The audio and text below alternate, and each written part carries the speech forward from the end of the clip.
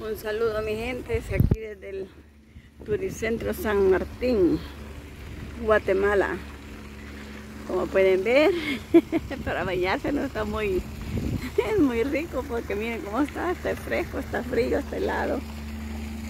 Pero miren, qué belleza de flores. Chulada.